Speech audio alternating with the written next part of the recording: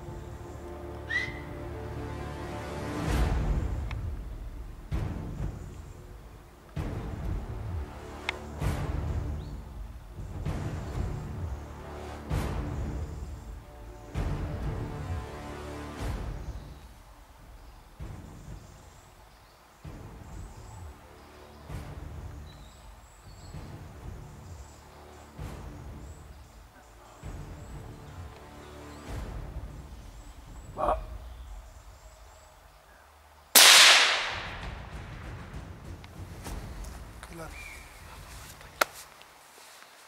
I don't want to rush it, I don't, you know, when you said before, no, no. you're still moving, so... Perfect one to shoot.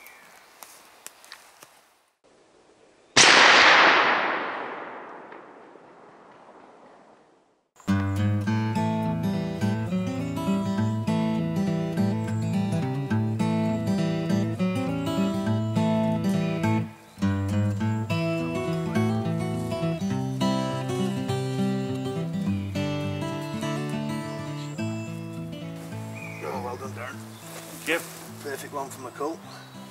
Nice shot. She should just turn into the shot, didn't she? Yeah. Beautiful, mate. Well done. Congratulations. Just what Thank I needed. very much. 308, dropped her on the spot.